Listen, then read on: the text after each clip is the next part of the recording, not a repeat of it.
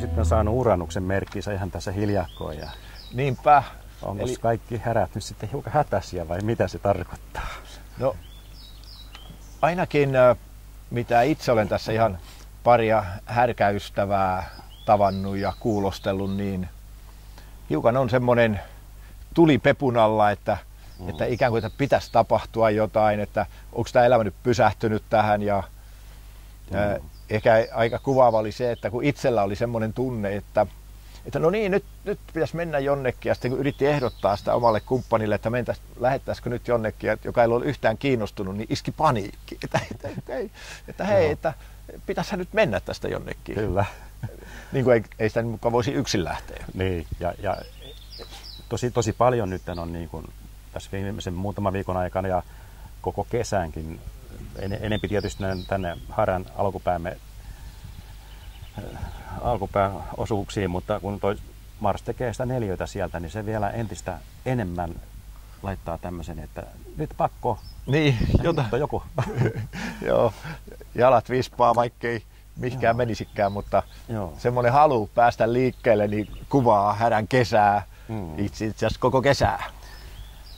Heinäkuussa Venus tosiaan menee sitten neitsyeen siellä, ei ihan ensimmäisenä päivinä, mutta alussa, ja silloin se on sitten taas jo härälle niin kuin kivassa kulmassa. Joo, sitten siellä. Mm. Että nyt aluksi, aluksi tämä neljä pikkusen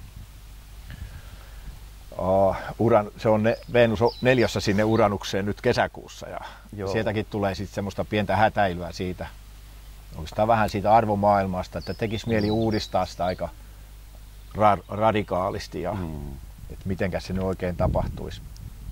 Mutta sitten nämä, nämä upeat jutut, tämä Saturnus, perääntyvä Saturnus kolmio uranukseen, niin mm. sehän, sehän sitten iskee mukavasti tonne härkään. Tai tekee tota sellaista, antaa niin tosiaan kovaa potkua, justi mitä puhuttiin jo aikaisemmin, niin niiden uudistusten tekemiselle ja, ja kaikkien kehitelmien luomiselle, niin Joo. se on tosi Joo. mahtava. Ja tietenkin niin kuin toi Jupiter on siinä sellainen kuin oppositiossa, oppositio on helpompi kuin nämä tämmöiset neljöt aspekteina, koska se on niin, kuin niin selkeä. Ja, Joo. ja se näyttää hyvin selvästi semmoiset jutut, mikä ei toimi. Siinä on niin kuin seinä vastassa. Joo, ja, ja tosiaan, että vaikka, vaikka jossain niin on seinä vastassa, niin sitten taas toi, kun Neptunus on seks, kolmiossa Jupiteriin, niin se on mm. sekstiilissä sitten tänne hädän merkki. Ja... Täytyy olla niin, kuin niin tietoinen siitä omasta kyllä. jutusta. Ali, alitajunnasta löytyy kyllä vastauksia varmaan tosi paljon. Joo, kyllä Neptunus on alitajunnan ja unien planeetta, niin totta.